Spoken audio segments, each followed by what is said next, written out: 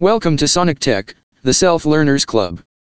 In this video we'll learn how to change the Vivaldi browser display language. First, open the Vivaldi browser.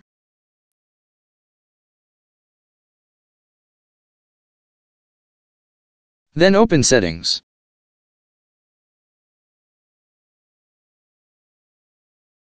Choose the language option.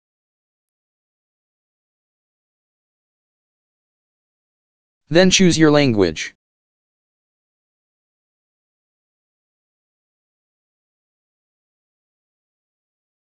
After that, click on Save Language to set the Vivaldi user interface language to your language. After you choose to display the Vivaldi browser in this language you have to relaunch the Vivaldi browser.